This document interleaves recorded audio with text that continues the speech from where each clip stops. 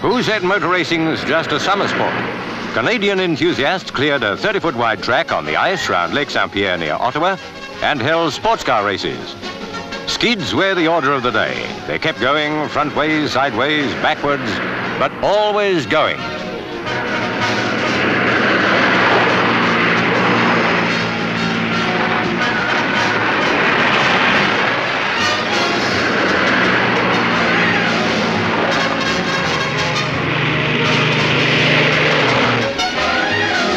What's the use of wheels anyway?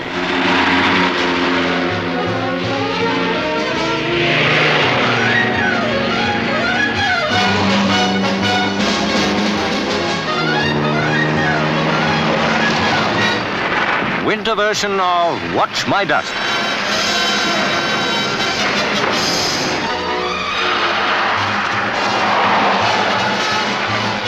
The winner in an Oriental finish.